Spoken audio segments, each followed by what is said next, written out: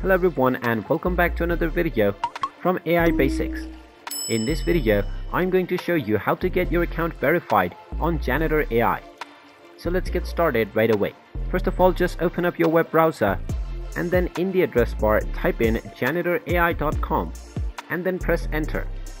Once you do this, you will be taken into the official Janitor AI website. Now in order to create your verified account, simply click on the register button at the top right corner. This will now take you into the page where you can create a new account.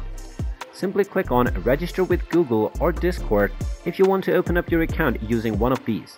Or you can also enter your email address followed by your password and click on the register button.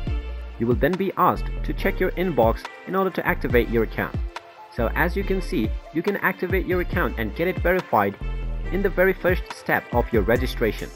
Just check your inbox and you will find an email from Janitor AI where you will find a link to confirm it.